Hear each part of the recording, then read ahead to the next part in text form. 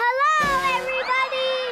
And I like to eat apples and pears and even bananas. Why do you speak the English way to the Vietnamese way? Ờ, Rồi, yeah. bắt đầu nè. Rồi, cho hai ly trà đá Excuse đó. me? Why I speak? Nói chẳng hiểu gì. Why I speak uh, English in Vietnamese way? Yes, you speak English in the Vietnamese ways. Quang Bình có niềm đam mê đặc biệt với bộ môn tiếng Anh. Khi mới 3 tuổi, em đã thích nghe những bài hát, xem những bộ phim hoạt hình bằng tiếng Anh, có thể nói được những câu tiếng Anh chuẩn xác. Đến năm 4 tuổi, Quang Bình có thể nói thành thạo tiếng Anh và giao tiếp được với người nước ngoài. Bí quyết của con để học tiếng Anh là con phải chăm chú nghe giảng ở đấy và con phải không để ý đến cái khác và khi nào đang tranh thủ mình có thể nói chuyện với những người Tây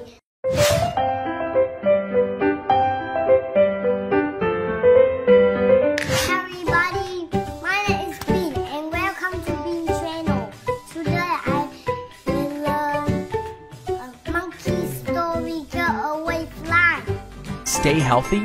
I exercise every day.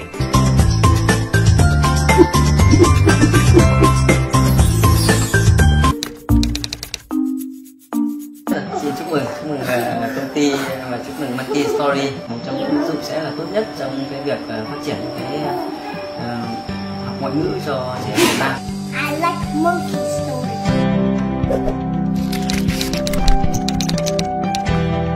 này thì hôm nọ thì đấy mấy bạn Hồng Đăng này, Hoàng Bách này rồi là Bảo Thanh về nhà đi con rồi là các bạn ấy tặng cho mình một cái một cái một cái gọi là cái cốt ấy. Thế là mình cho vào ba máy mình cho các cháu dùng luôn. Thế là Monkey Story. Cái à, phần mềm này nó chơi này thì không giới hạn về thời gian này không gian này. Mà ứng dụng Monkey Story thì có thể là là các bạn có thể học ở bất cứ đâu cho trẻ học con ấy và nó theo giọng đọc chuẩn của Mỹ. Thì nghe thấy cái giọng đọc phát âm này là mình thấy ok. Đang là được giảm giá đâu chỉ còn đang giảm 40% 499.000 một năm. Học phí quá rẻ. Nhím là 8 tuổi kẹo thì đang là 5 tuổi thì hai con sẽ học hai cái trình học khác nhau nhưng mà đều dùng trên một a trên trên trên ờ, một cái ứng dụng ấy được và một trong cái, cái khóa học ấy được. Monkey story.